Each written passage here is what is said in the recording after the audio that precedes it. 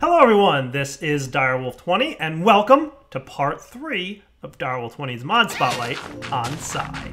Today, I'm going to show you some of the advanced stuff that you can do with Psi, provided that you get a little bit into vectors. Now, I don't want to scare you guys off. Vectors really aren't that hard. They're actually pretty easy to play with.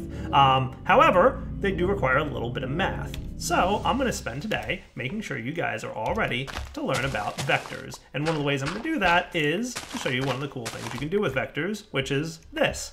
This spell I just cast built this little underground pathway. How cool is that?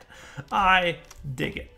Um, pun intended. So what I'm going to do is um, combine a couple different mechanics to show you guys what you can do uh, with Psi. Another thing that I've done is uh, this nifty thing here, which should be this. Uh, I created a spell that makes stairs.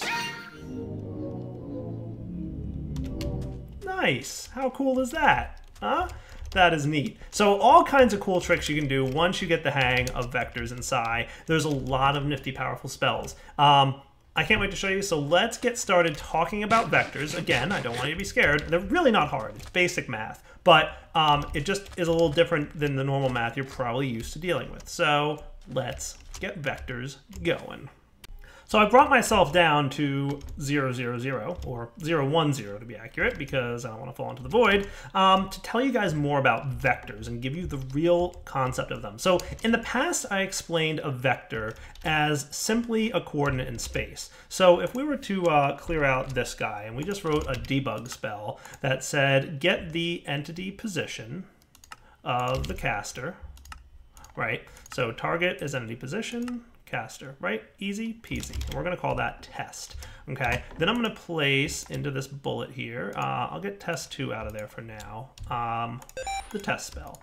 By the way, there's a new feature to Psi, new since part two of the Spotlight that I'll show you guys in a minute. But for now, we're gonna cast the test, right? And what that does is it gives me the vector of the entity position of the player, which as you might notice, pretty well matches what I'm at. Um, it factors probably into my head position instead of uh, my feet position, so that's why the y vector is 4.6 instead of 3 that you see up there. Now, in reality, a vector is not a point in space. A vector is actually a line from 0, 0 to that point in space. So imagine I'm standing up here, right? So to make this easy, let's pretend that we are at 0, 0, right? So like right about here, and we went up, for example, right?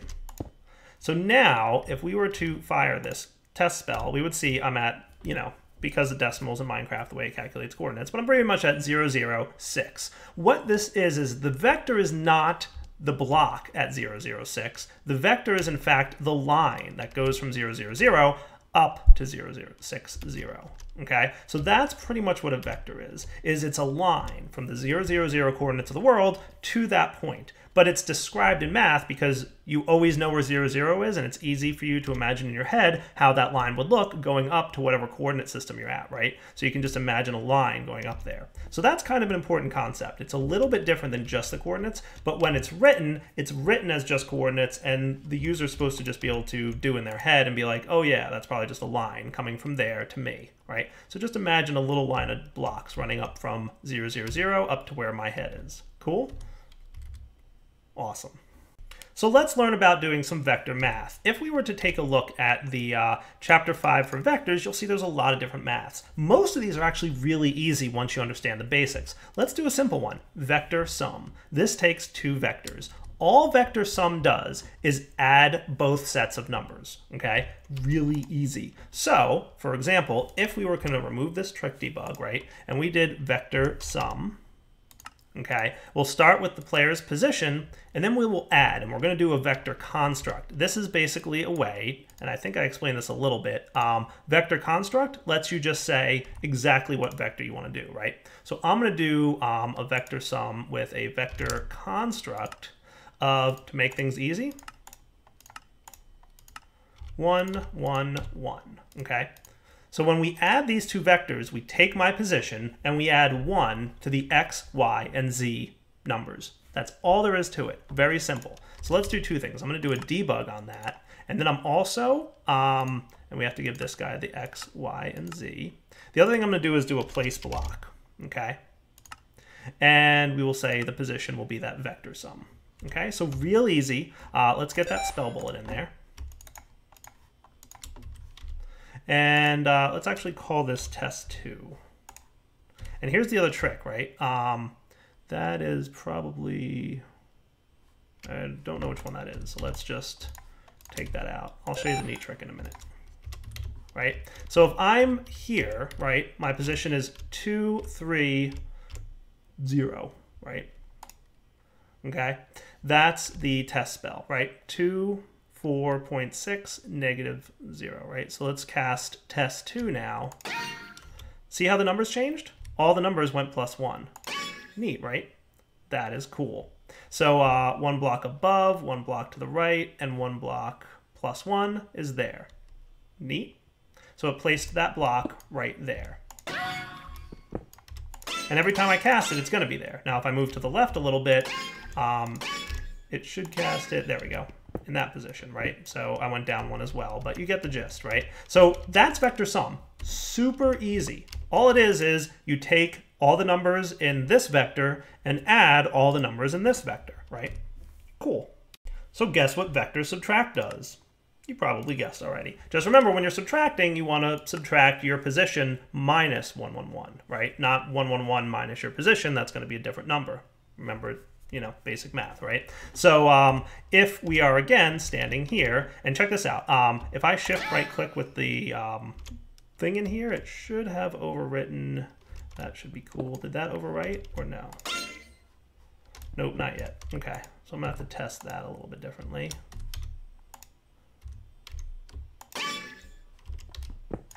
Well, let's swap this out now. There we go. Now when I cast, it should go, where did it go? There we go. It went down, forward, and to the right. So instead of going up and to the left behind me, it went forward and to the right below me. Cool? So that's a vector subtract. Real easy. So the next uh, types of vectors I want to talk about are vector multiply and divide. You'll notice that unlike add and subtract, which take multiple vectors, multiply and divide take a vector and a number. So the important difference here is when you add two vectors together, what you're doing is you're taking the numbers in vector 1 and adding them to the numbers in vector 2. When you do multiply and divide, you take the vector and multiply all three numbers by um, the multiplication or the divide number, right? So let's clear out this table, okay? And we're going to do another debug. So let's do vector multiply, right? So that would be vector multiply, where are you at? Always a little tricky to find these things sometimes. There it is, vector multiply. Uh, so a vector and a number. So what I'm gonna do is I'm gonna construct a vector to make things easy to demonstrate, right? So we'll do vector construct. We will make it uh, zero, one, zero, okay? And then we're gonna vector multiply that times, let's say three, okay? Easy enough. So now um, what I'm going to do is do a debug on that so we can see what number comes out. Easy? Cool. Um, so you're going to do vector and number, and we will call this test 3. New thing that you can do, um, if you just right click on the CAD with your gun, so see how test 2 is my currently selected bullet? Now test 3 is uh, in there. So it overwrote the bullet in the gun by right clicking on the CAD. Awesome. All right, so what's this going to do? Um, it should start, okay, with uh, the vector construct here doing a 1, and then it's going to multiply every digit by 3. So we should get 0, 3, 0. Ready? Boom, 0, 3, 0. Nice and easy, right? Now if we make this a 1, or actually we'll make this a 2, just to demonstrate, right? So the x is a 2 now, so let's update our gun. 6, 3, 0, because 2 times 3 is 6, and 1 times 3 is 3. Pretty straightforward. That's vector uh, multiply. The other thing we can do is uh, vector divide, right? So we'll make this a 4, and we'll make this a vector divide by 2. Vector, number, easy peasy, 1 and 2, right? 2 divided by 2 is 1, 4 divided by 2 is 2. That's all there is to vector multiply and divide. So let's talk about the look vectors, right? There's actually two types of them available, entity look and entity axial look. And what I've done here is I've set them both to target the caster, right? And we're going to output them both. Output number one in debug is going to be the axial look. output number two is going to be the look vector. Um, so look vector is two, axial look is uh, this one, and let's call this test four, and boom. Let's do that. So what are we going to get here? When I right click this guy, we're going to see two vectors. Number one is the axial look. Number two is the direct look. Axial look will find one axis, the one that you're closest to looking at, and always choose just that one. So see how my entity axial look is negative 1, 0, 0, and my entity look is like a large string of numbers, right? Because I'm looking kind of in this downwardish direction, right? So I'm kind of looking here. Now, as I go to the right here, notice that it's my z coordinate that's changing. And see how, as I go forward there, like my z is going down? So basically, axial look is a good way to find the direction you're facing without all those little extra numbers. It kind of, it's like rounding it almost and just saying you're looking in that direction, period. Like not worrying about the slightly downward things, right? So now if I were looking at this block down here, my axial look would probably target that piece of block right in front of me, right? Or maybe that one, okay? Um, that's pretty close right there, right? Um, but if I want to get my axial look, it's there. If I want to get the exact block I'm looking at, it's number two, okay? So that's important because we're going to see something in a minute that's going to do some vector math that's going to be very useful with entity axial look. A really useful vector math is vector cross product. And what this does is cool. We're going to do a vector construct, okay? Um, and we're going to do uh, 0, 1, 0. And we're going to get basically the upwards vector, okay? And then we're going to cross product it with these two. And you are going to be, target is caster, okay? Um, and I'm going to debug this guy. Cool. And we will call this number two. Got it? So what this does, let's update to test four, okay? Um, vector cross product is very useful because what it does is it takes the cross product of two vectors and gives you the third. We're in 3D space, right? So we can either be on the x coordinate, see how my x's are changing in my F3, or on the y coordinate, or uh, z, I'm sorry. So z coordinate here, z is changing, or y. Okay, vector cross product, you give it two of those and it tells you what the third one is. So if I give it the x and the y, it's going to give me z. If I give it z and y, it's going to give me x. Cool. So let's cast and see. I'm currently, um, number one is my axial look. Number two is the opposite vector, right? Boom. Cool. So currently, I'm looking along the x-axis. See how my x is changing because that's the direction I'm facing? So axial look is the z-axis, okay? Now, if I were to reverse that and look along the z-axis, notice how the numbers changed, right? This time, it's 1 in the vector because I'm looking positive in the, or uh, yeah, I'm looking in the z-axis, right? Um, sorry, no. That should probably be backward, but you get it, right? So negative 1 in z, right? That's this one. And now my um, cross product is the x-axis. So that's this one. Cool? So vector cross product is really nice because you can do a bunch of cool stuff with this, right? You can not only get the direction you're looking, but you can get the uh, direction you're not looking, basically, because we're combining with the y1, right? So y1 is up. So basically, you say, here's the direction I'm looking. Here's y up is the constant. So give me the other axis. Well, that must be this one. Straightforward.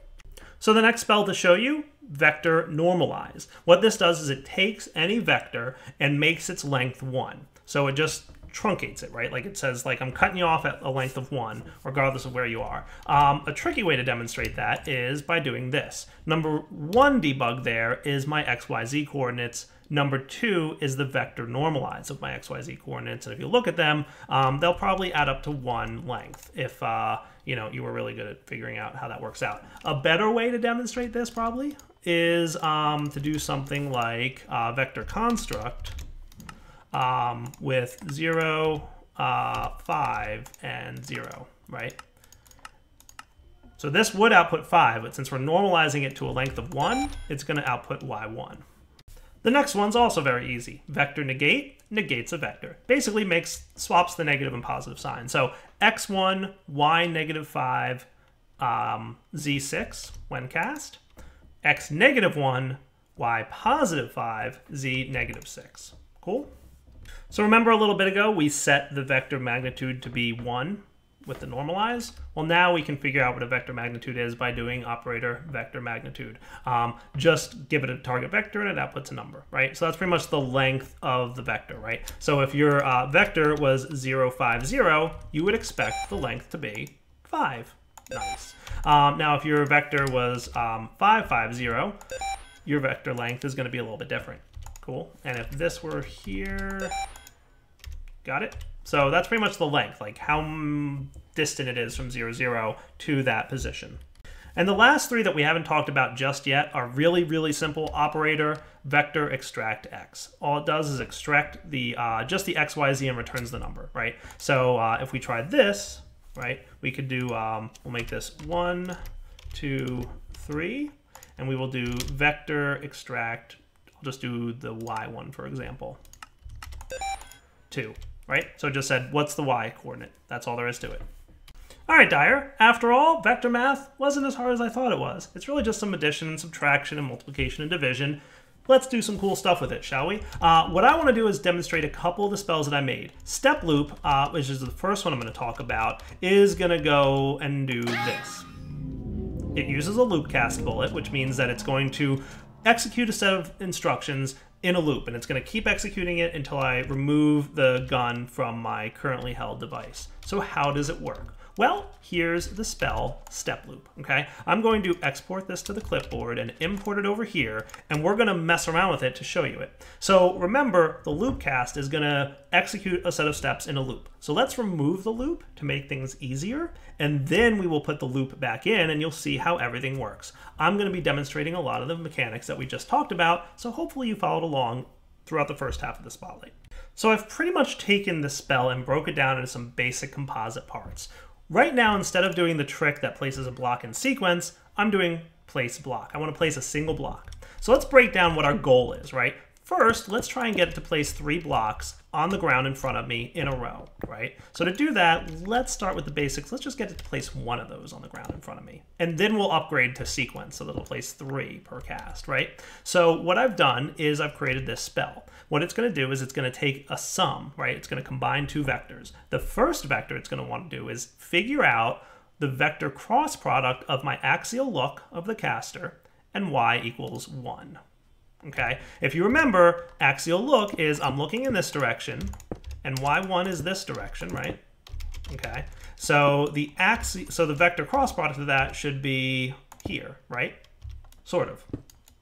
There's one little mistake there, and I'll let you guys figure out what it is over the next three seconds before I cast the spell. You ready?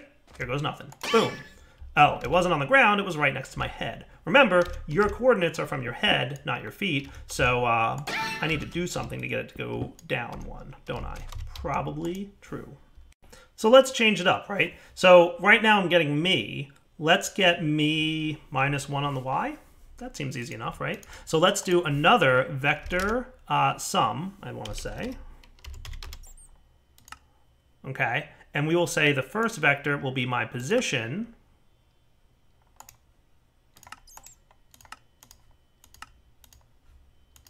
minus, we'll say vector construct 1 on the y. This will be x, y, and z. Cool? And we are going to be combining these two vectors, right? And this will be this one and this one. Cool? So now we're doing a sum between first, we're going to figure out my position, uh, or my vector cross product of my look and y1. So that'll get the to the left bit right? Then we're going to combine my position, but we're going to subtract 1 from the y. So basically, my position minus 1 on y. Not a bad idea. You know what? Mm, yeah, that's probably good for now. Let's do it. Ready? There we go. Look, it placed it down instead of at my head. Perfect. So let's replace place block with place block sequence. So my position that I'm going to start at is the same. I want it to start there, but I want it to continue along here, right? Shouldn't be too hard. Let's give it a shot. Um, what I'm going to do is place um, an addition here. So basically we want to do in a different direction a little bit. So what we really want to do is start here and then go over basically and have a total of three blocks, right? So what we can do is if this, for example, is negative 1 right here, then this would be positive 1, right? So which vector can we figure out to get from here to here? Probably might want to use a vector negate of this cross product, right? So let's get a negate. We'll draw the line up here. So if this vector cross product gives us negative 1 on the z, vector negate will give us plus 1 on the z, right? Negative 1 on the z, plus 1 on the z. And if it's the x, it would be negative 1 on the x to plus 1 on the x. Pretty tricky? Yeah. So far, we're getting the hang of this, right? Um, so the um, target here, but we really want this to be a little bit different. So let's try, well, let's try it first and see what happens. You ready? So we're to do left here, and that should be cool. And now our max will say the most blocks I want you to place is three. So let's see what happens. You ready? Hey, it didn't really work. What happened? So the best way to figure out what happened is to throw a debug on your vector negate and just see what number that's coming up with. Negative one. Interesting. Okay, I bet I know what's going on. Um, we might want to do a multiply times, let's uh, use the 3 again here. So that's number and vector here. Let's see if that works. And we're going to debug on the multiply. Ready? Hey, now we're talking. We got it going. Because we wanted to basically go from, um, you know, here to here. So how can we explain what's happening and why we needed this 3? It basically comes down to here I'm adding my player position, right? So the place that I start placing them is my player position, um, pretty much minus one on either the X or the Z, depending on which direction I'm looking because I'm using entity uh, cross product here with the axial look, right? Um, once that starts getting placed, it needs to know relative to that how far to go. So we're basically saying go three blocks. Um, in the opposite direction from the one that you would normally be going for placing the block. So normally we would start here. We want to negate that direction. So we want to start going this way. And we multiply by 3 to say we're going 3 blocks over because we start here and then we don't want to go just 1. We want to go 3 in total. So now let's modify it so it builds out a line in front of me, right? Because we don't want these stairs to just be placed right? And that's it, we're not done here, right? So we want to include loop casting, which we saw in part two, and we're also going to want to move forward and upwards. Let's tackle moving forward first. So here we're adding um, the vector cross product of where I'm looking and the y, so we know that that's, you know, one to the left, right? And then we're adding in um, to the y-axis minus 1, so it places it on the ground. What we want to do is head forward in the direction that I'm looking, right? So let's utilize the axial look that we've already placed, and instead here I'm going to remove these and put a caster here so that we can place stuff up above, okay? What I'm going to do is put down a vector multiply, okay? Um, and we're going to add this to the existing vector. That vector multiply will be my axial look times the loop cast. Okay, so what this does is the first time I cast this spell, it's going to be my axial look. Let's say it's x1, okay, um, times the loop cast is 1. So that's going to add x1 to where it's placing the first set of blocks, right? Then the next time it's loop cast index 2. So my axial look is still x1, loop cast second time I cast times 2, so now it's x plus 2. Third time I cast, x plus 3. Fourth time I cast, x plus, you get it, right? So let's get ourselves a loop cast. I think this is a loop cast, cool. And we'll call this step demo loop, just so we know the difference between the two spells we've been working on. And if I've done this right, it should create a line of blocks directly in front without going up on uh, step demo loop, without going up, right? So we're just modifying the direction I'm looking. Cool, right?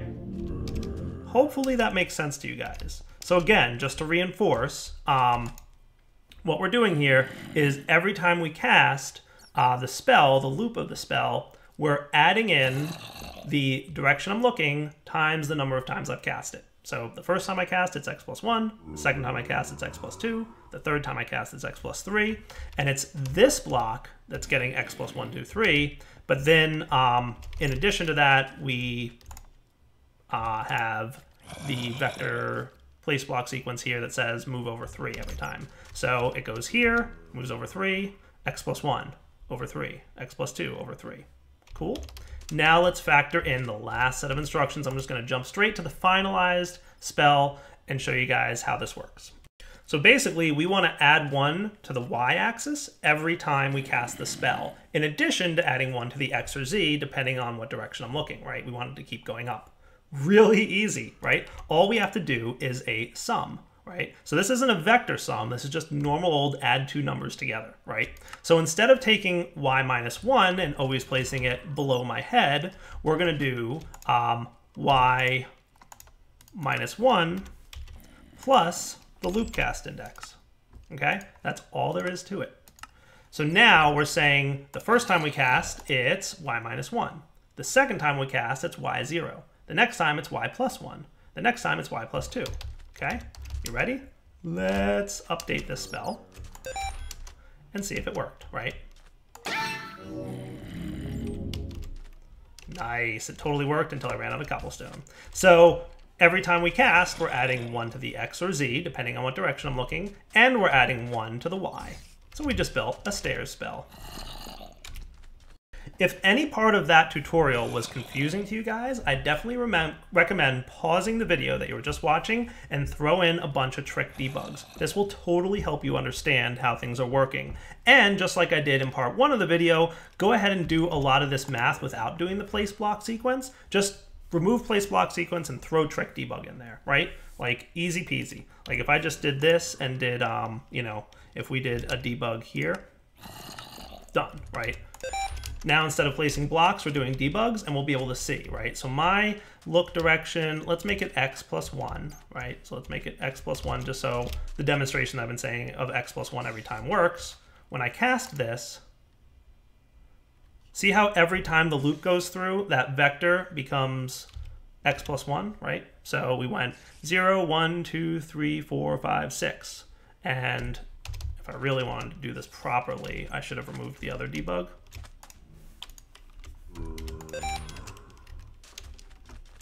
So x and y are increasing every time, right?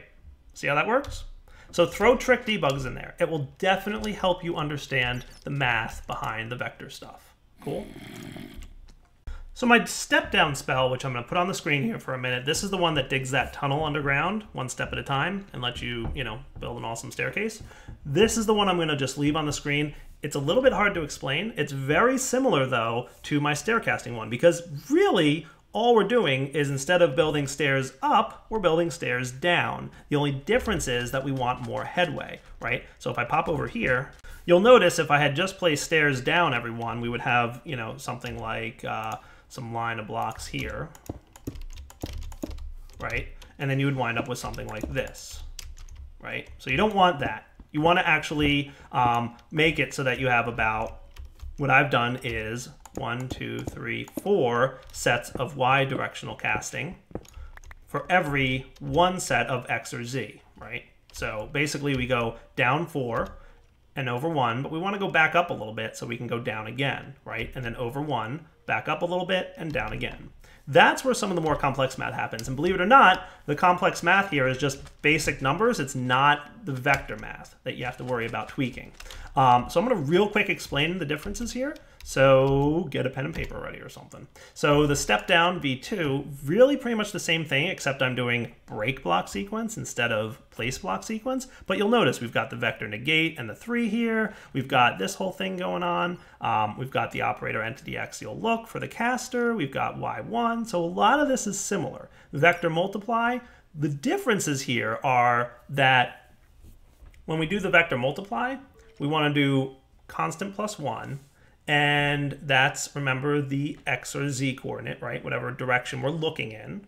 We're multiplying that, and we're doing loop cast index integer divide 4. What that means is it divides by 4, but it rounds it, so it always gets an integer, right? So if we were to demonstrate this with a casting table, okay, if we said debug integer divide loop cast index 4, loop cast index divided by 4.